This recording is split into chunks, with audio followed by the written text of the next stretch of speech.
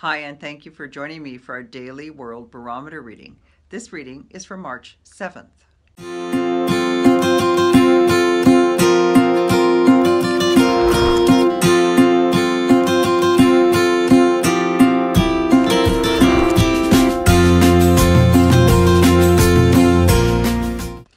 It's the Tower Reverse Day. It means that something that we planned and put a lot of energy and effort into is going to either not materialize, which would be actually better than having it crumble in front of us. More likely it's going to crumble in front of us, so all of our time and effort we're just going to have thrown away.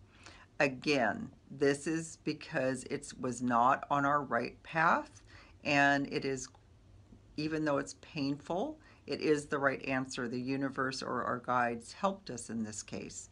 Our job is to do self care so that we can get over this energy and move forward. Thanks for joining me. Bye for now.